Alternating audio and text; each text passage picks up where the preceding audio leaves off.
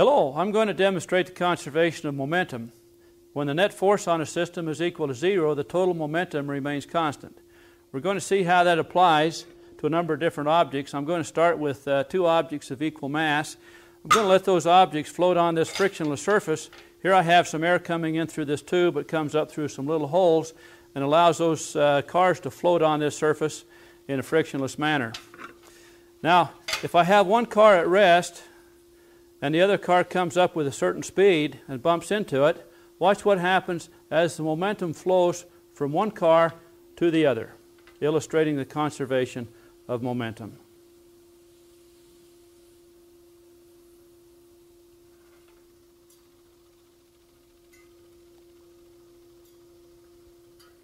So we see that the momentum initially in the first car gets transferred to the second car. That happens with cars of equal mass. It also happens if the cars have a different mass. Now, if I have a car with twice the mass of the one at rest, and it comes up and bumps into it, the same principle applies, but the results are slightly different.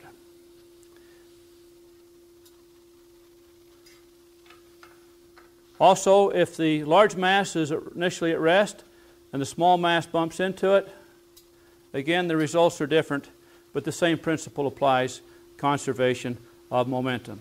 The momentum lost by one object is gained by the second object. Now, if I have two cars of equal mass and they come up and bump into one another, coming from opposite directions, then the momentum of one we can say is positive and the other would be negative in such a way that the total momentum adds up to zero. So that when they come to uh, uh, the point of collision, the momentum is going to be zero to start with, and it'll be zero throughout the collision, even at the time when they're both instantaneously at rest, and it'll be zero after, as the uh, momentum of the total system remains constant because the total net force is equal to zero. So we see that they essentially just bounce apart from one another. And if they were to start in a compressed position and I release it so that the total force again is zero, uh, they'll move apart with equal uh, momenta but opposite directions. So that one is positive and one is negative, the total momentum remains constant.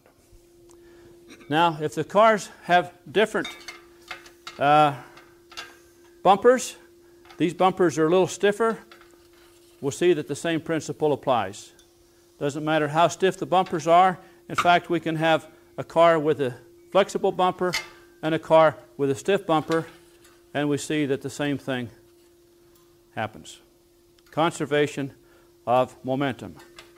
In fact, it even happens with magnetic forces. Here I have some cars with some little magnets attached.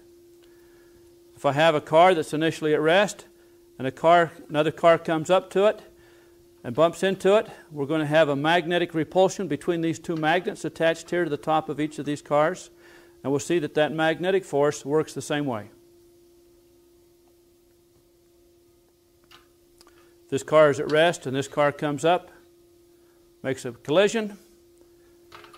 Let's try that one more time. Then the car initially moving stops and the other car picks up the momentum.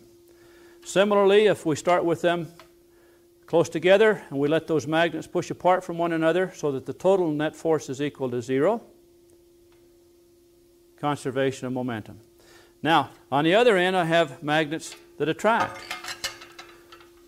These two magnets attract one another so that if one car comes up and hits the other and those magnets cause those two cars to stick together, then what would you expect would happen? Well, this car and this car will both move off at a common speed. And let's watch what happens there.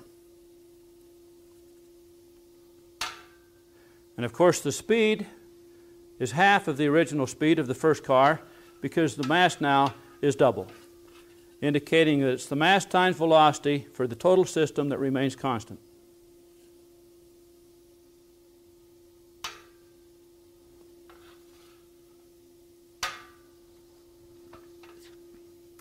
Conservation of momentum.